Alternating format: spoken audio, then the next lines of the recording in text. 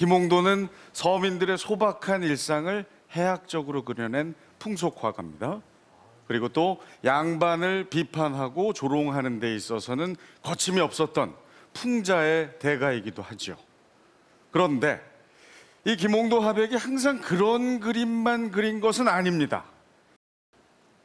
우아하게 말 위에서 꾀꼬리 소리에 마음을 뺏긴 양반의 모습을 표현한 그림입니다. 지난 2월 보물로 지정된 말 위에서 꾀꼬리 소리를 듣는 그림 김홍도 화백의 마상 청행도입니다.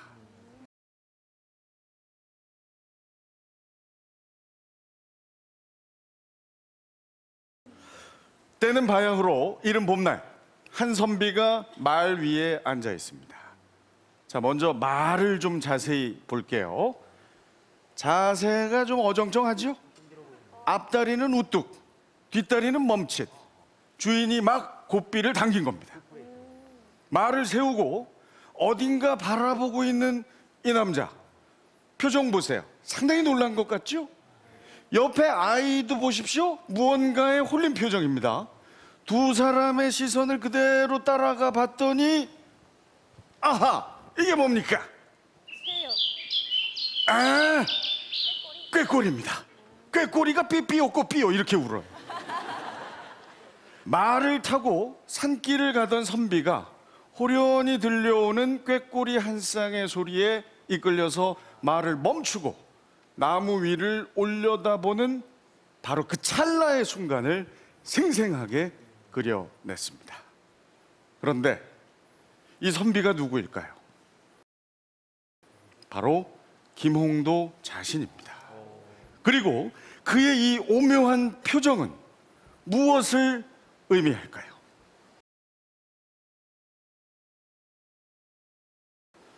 자, 이 그림은 김홍도 화백이 자신의 집에 친구들을 초대해서 같이 놀고 있는 모습을 그린 단원도입니다.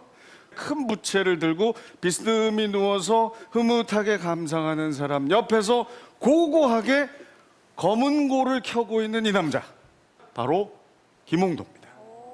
양반의 모습이죠. 그리고 또 이 그림 하인과 안악들을 거느리고 매 사냥에 나선 귀인의 모습 보십시오. 말 위에서 도포를 입고 사냥을 마음껏 즐기고 있는 호사로운 양반 바로 김홍도입니다. 좀 이상하지 않아요, 여러분? 네? 아까도 말씀드렸듯이 서민들의 삶을 해학과 재치로 풀어낸 최고의 풍속화과 양반들의 허세 특권을 절묘하게 꼬집어내던 풍자의 대가 김홍도 화백의 그림 같지가 않습니다.